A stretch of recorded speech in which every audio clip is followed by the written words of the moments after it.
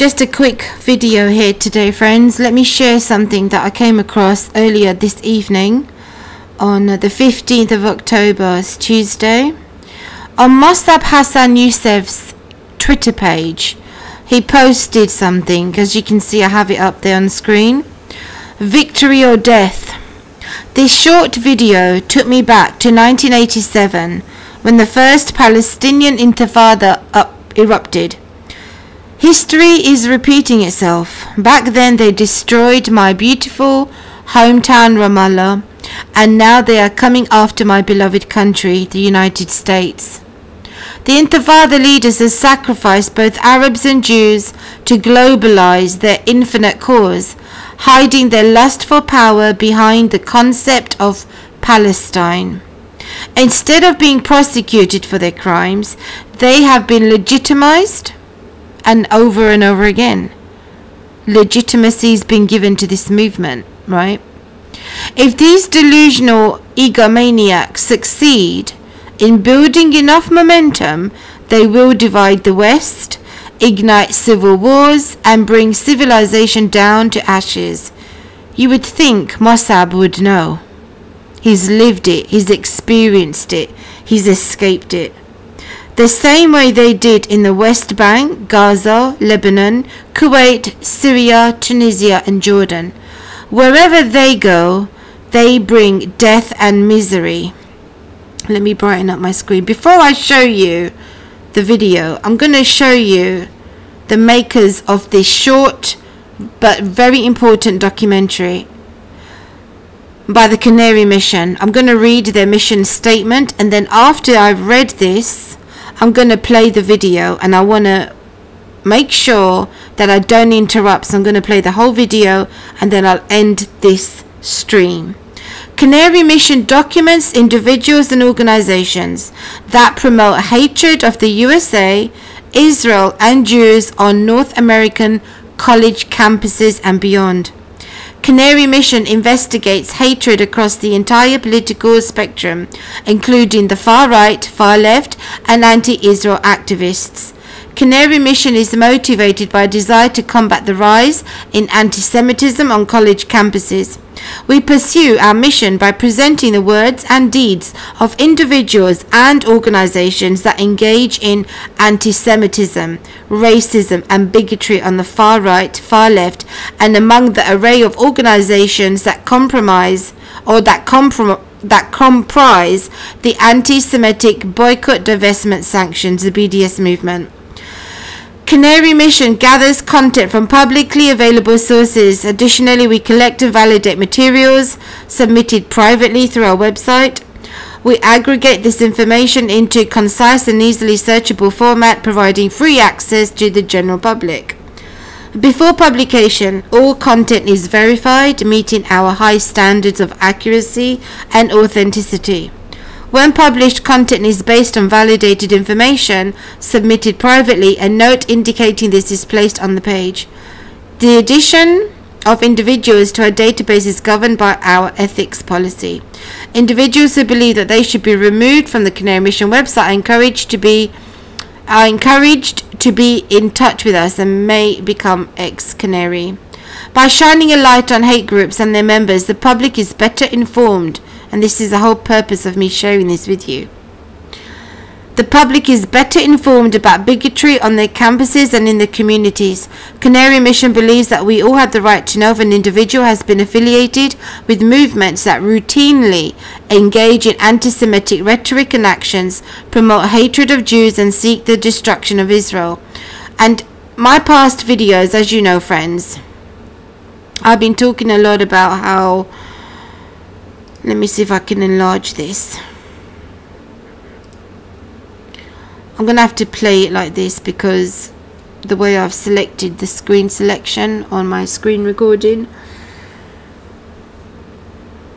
it's important that you see and listen to what's being said in this video for yourselves because I could watch it and give you my interpretation or my summary but it's important that you listen to what's been said here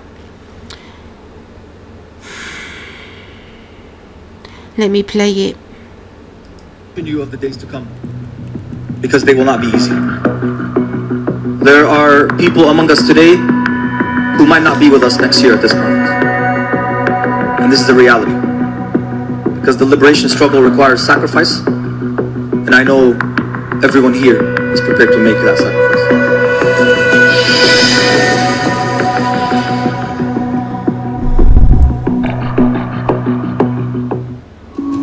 In May 2024, over 100 organizations gathered for the People's Conference for Palestine in Detroit, Michigan. More than 3,000 activists were in attendance. Speakers celebrated the October 7th massacre, called for resistance against the West, and mapped out a vision for the destruction of America from within. The Palestinians who came to the United States understood their role immediately upon arrival. We, the movement for Palestine in North America and across the world, are here to fight until victory. This violent movement has been growing for decades. It's made up of groups including Within Our Lifetime, Students for Justice in Palestine, the Palestinian Youth Movement, and many others. After the October 7th attacks, anti-Israel groups in America were emboldened. They saw the massacre as an opportunity to intensify hostility toward Jews and America. When I think about the USF, it should burn! Death to America! As the movement worked nonstop to legitimize the Hamas attack, the activists openly flaunted their hatred of Jews and Israel through protests, vandalism, encampments, and violent assaults, both in the streets and on college campuses. Flags of terror organizations became commonplace in public spaces.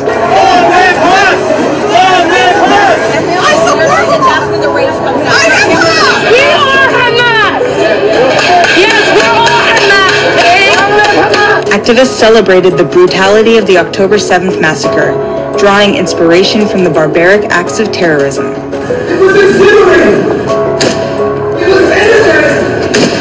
Glory to our martyrs, our heroes who made the ultimate sacrifice.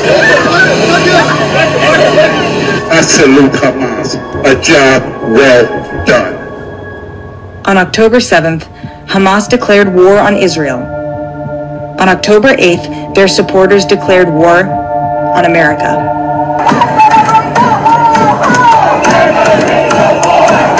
It is time to bring the war home! It is time to smash this empire! The goal of the movement is not just to destroy Israel. Their primary target is the U.S.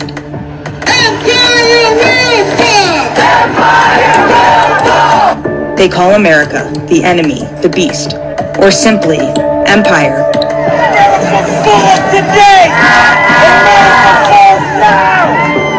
We're in the belly of the beast.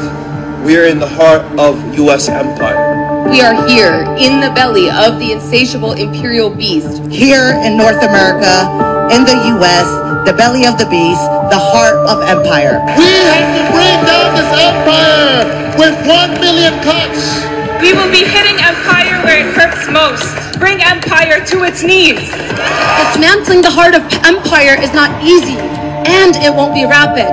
But we know it's possible. This panel, y'all, is talking about what is next. To strike at the heart of empire. The Palestinian American pro terror movement uses the word resistance as a euphemism for violence. And that resistance is to be accomplished by any means necessary. All means necessary. the resistance in all its forms. resistance, including armed resistance, Normalized armed struggle. They are not terrorists, they are freedom fighters. Our noble, steadfast resistance. Conference speakers outlined their strategy for bringing the war home. I believe our fundamental role is to generate political and social crisis within the American ruling class. Mass mobilizations is the primary tactic.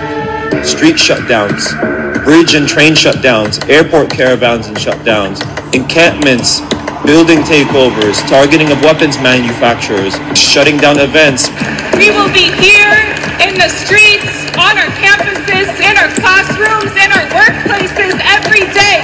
We have made the situation untenable for the empire's ruling classes and the political establishment. They have created a disruptive movement made up of students and faculty turning young minds into anti-American extremists. Our movement has helped transform students into revolutionaries.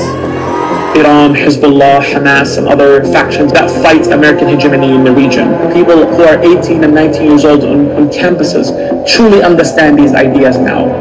Protesters target cultural and historical landmarks, seeking to destabilize the foundations of American society.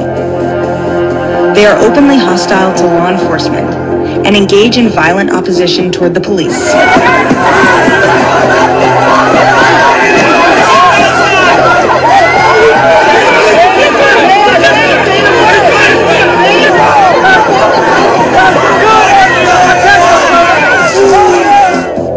The influence of these organizations isn't limited to universities and public spaces. They've even reached the halls of Congress. Congresswoman Rashida Tlaib.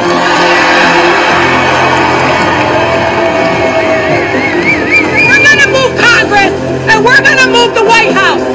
We're not going anywhere. Free, free Palestine! The influence of these violent groups is growing, and they are working towards their goal of dismantling America.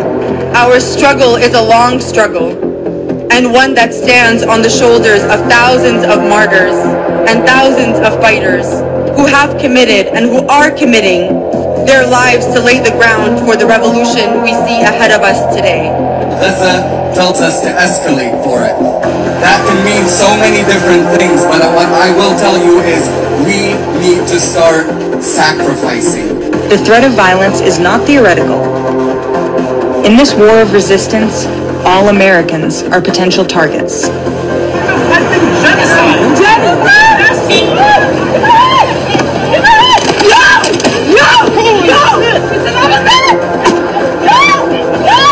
These organizations are determined to achieve their revolution, whatever the cost, by any means necessary.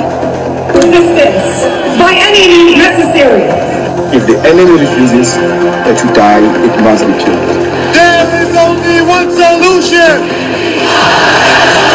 The Palestinian diaspora in North America has committed its martyrs for this cause. Students have brought the war home. It is either victory or death. Either victory or death. They're losing their ability to control us. And this means that now the gloves are off. And quite frankly, anything is possible.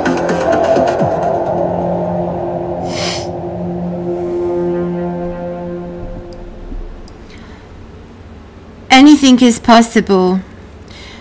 So, I will give you a brief summary. What are they saying they're willing to do? Victory or death, right? Any means necessary, by all means necessary. It's time for sacrifice. These are people who are willing to do and commit the same atrocities that we expect from Hamas, Hezbollah, Al Qaeda, and the like in the USA. And they're willing to do it. I'm going to end the video because I've got more to share. Stay tuned, friends. I'm working on several videos. I said I was going to do them in several parts because there's a lot of information I want to share. It's regarding the Israel lobby versus the Arab lobby, and the other one I'm doing is regarding the Noahide laws versus the Sharia law. So I'll be back soon. Please make sure to give a thumbs up to this video, like it, subscribe if you haven't, and please leave a feedback in the comment section.